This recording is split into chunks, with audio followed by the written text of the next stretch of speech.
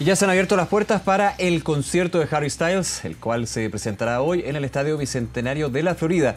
Muchas de las fanáticas y los fanáticos ya han llegado al lugar. Valeria Carrasco está ahí y nos cuenta y nos muestra los detalles. ¿Cómo estás, Valeria?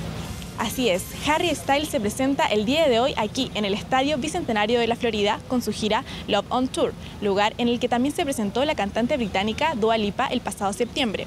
Muchos de los fanáticos ya se encuentran en el recinto ansiosos por escucharlo en vivo, ya que este es un concierto que se reprogramó desde el año 2020.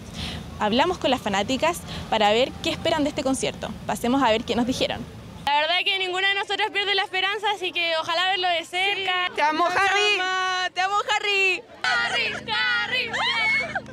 Que sea la mejor noche.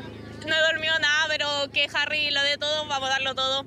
Y amo mucho a Harry. Se hace un llamado, por supuesto, a concurrir a la hora indicada y también a respetar las filas para así evitar atochamientos, además de evitar incidentes ocurridos, por ejemplo, como el primer concierto de Daddy Yankee. Es por eso que la productora, en conjunto con la municipalidad, han tomado ciertas medidas como mayor fiscalización y también mayor control de los asistentes.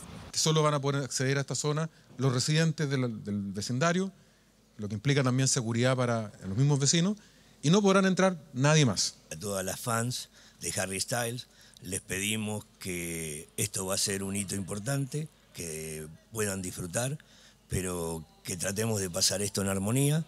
Aún así, el llamado, por supuesto, es que a la gente que vaya a concurrir durante la tarde a este lugar es que lo hagan en transporte público para así evitar atochamientos. Las expectativas, por supuesto, de este concierto son sumamente altas y estaremos a la espera ante cualquier novedad. De todas maneras, Valeria, muchas gracias, que te vaya muy bien. Nos vemos.